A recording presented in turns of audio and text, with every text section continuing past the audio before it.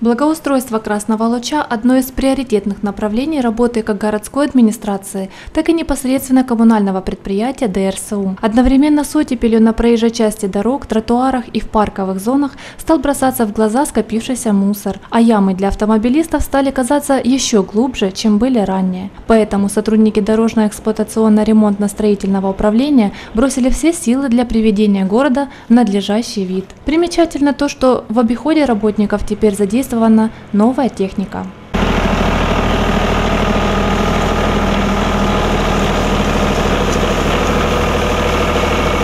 начали работу по Степана Разина по улице. Что в наших силах, то мы будем делать. Сейчас загребем всю эту грязь, поравняем, а где ямы постаются, будем фракцией щебня пока засыпать.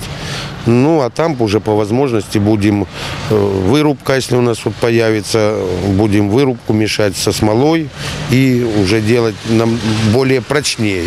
Все, что зависит от нас. От нашей техники, от какой-то, она у нас старая, щетку администрация помогла нам приобрести.